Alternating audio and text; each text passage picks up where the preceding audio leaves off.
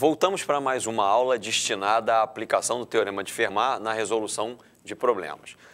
É, o problema proposto dessa vez é o que está aí para você. Seja P um número primo, diferente de 2 e de 5, mostre que esse primo tem um múltiplo da forma 1, 1, 1, 1, ou seja, um número formado exclusivamente pelo algarismo 1, um certo número finito de vezes.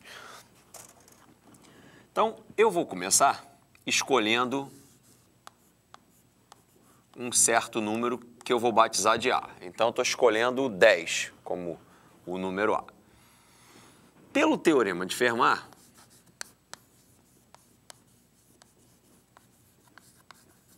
como o P é um número primo,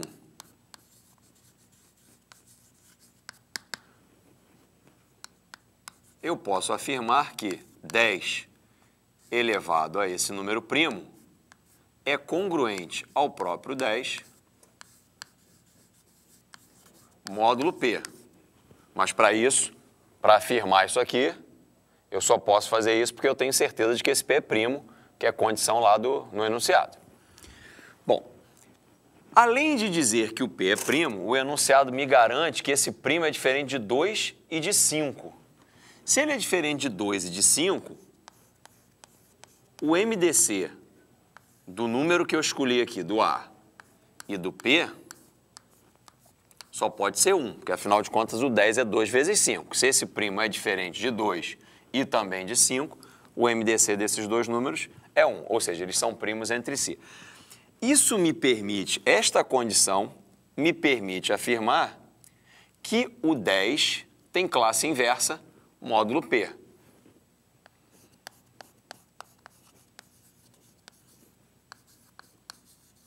Então, existe classe inversa de 10 módulo P. Qual é, e eu vou batizar essa classe inversa de A'. Qual é a vantagem de se ter uma classe inversa aqui? Porque se eu multiplicar em ambos os lados pela classe inversa,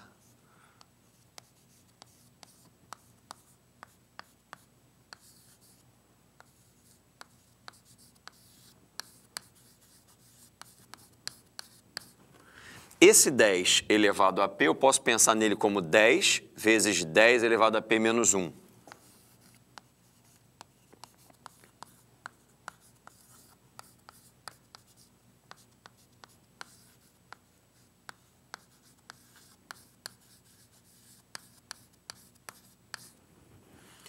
E essa multiplicação vai dar 1, porque se essa é a classe inversa, isso aqui vai dar congruente a 1 módulo P. Então, dessa forma, graças a essa informação, eu consigo reescrever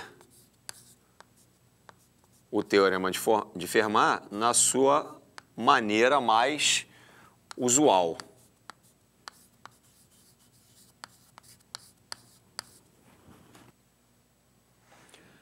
Essa expressão aqui é equivalente a 10 elevado a p menos 1 menos 1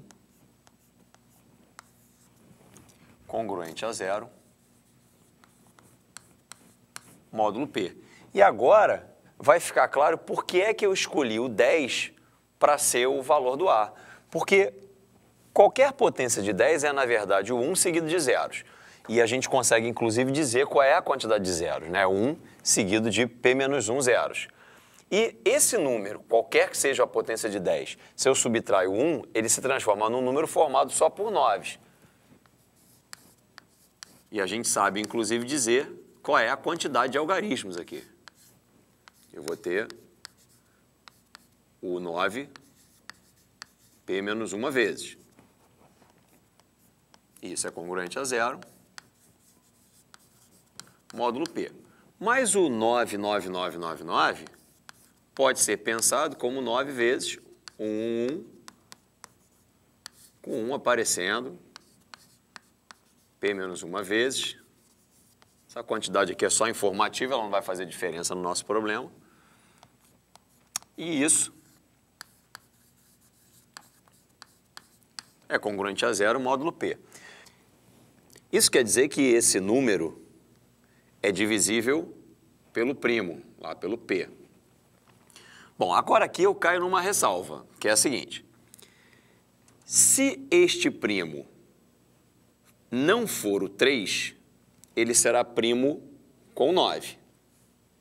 Portanto, eu posso cancelar aqui e eu fico com esse número, formado só pelo algarismo 1, congruente a zero módulo P, o que me garante que esse número aqui é divisível por P. Né? A outra possibilidade é imaginar que o P seja 3. Aí eu já não posso garantir esse corte, porque o 3 divide esse 9 aqui.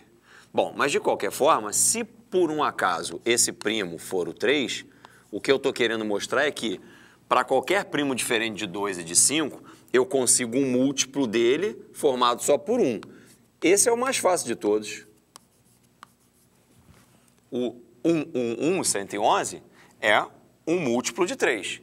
E se esse primo não for o 3, por aqui a gente enxerga que a gente consegue também um, um, múltiplo formado só pelo 1, desde que esse primo não seja o 2 e nem o 5, que foi uma condição que a gente usou anteriormente para poder chegar aqui.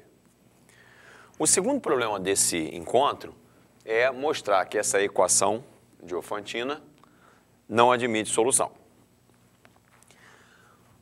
Bom, o que eu vou fazer aqui vai ser, na verdade, um truque para resolver, mas ele não é um truque escolhido aleatoriamente.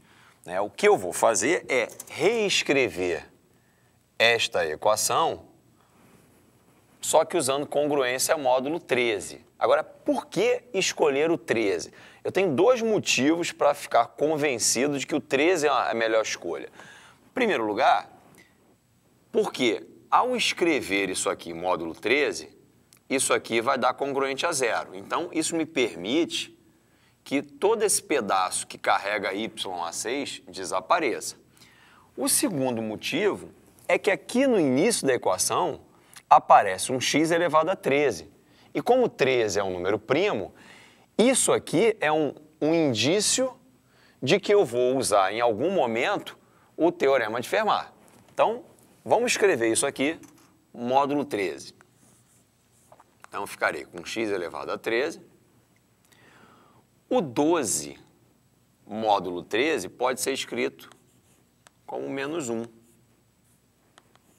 Menos 1x. Bom, não há necessidade de botar o, o 1 escrito aqui, então eu vou escrever menos x. Esse pedaço todo some, porque o 13 é congruente a zero, e aí a gente fica com essa expressão, só que agora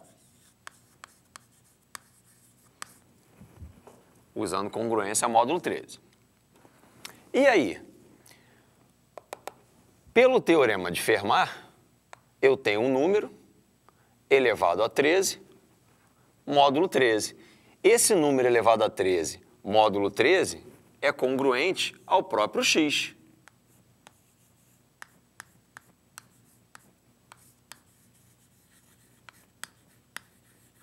E daí eu cheguei num absurdo, porque eu descobri que zero é congruente a 1 módulo 13. Bom, isso não pode acontecer. Então, isso é um sinal de que a nossa equação, na verdade, não possui solução. Espero que você tenha gostado. Até o próximo encontro.